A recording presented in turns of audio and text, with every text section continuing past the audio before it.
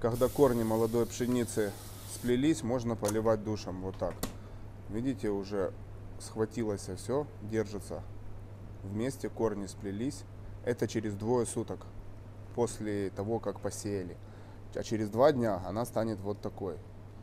То есть уже сплетутся корни конкретно, будут ростки, и мы выставим на свет. Вот они сейчас стоят вот так на свету. Эти сегодня поставили на свет тоже. И эти. Все, а здесь прорастает. Через два дня будет такое. А эти через два дня станут вот такими практически готовыми уже.